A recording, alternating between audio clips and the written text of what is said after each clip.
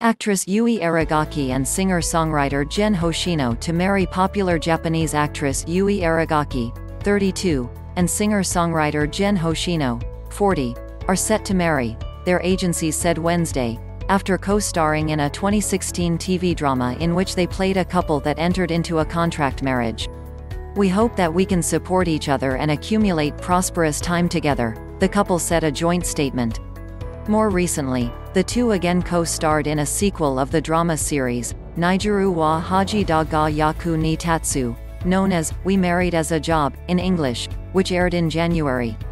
The theme song by Hoshino featuring the cast dancing the koi dance, meaning love dance, became a craze in Japan, with its official video on YouTube having been watched 231 million times as of Wednesday evening. Born in Okinawa, Aragaki, 32, started her career as a teen model and quickly rose to stardom after appearing in a TV commercial for Ezaki Glico Co.'s Pocky chocolate-covered biscuit sticks. Known by fans as Gakki, she appeared in a number of popular films and TV series including the medical drama series, Code Blue, featuring male Japanese idol Tomohisa Yamashita, among others.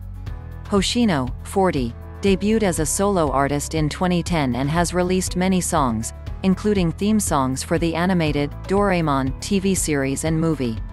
Last year, former Prime Minister Shinzo Abe was criticized for joining the social media bandwagon in response to a short video, Uchi de Odoro, Dancing on the Inside, posted on social media by Hoshino, who invited people to stay at home to curb the spread of the novel coronavirus.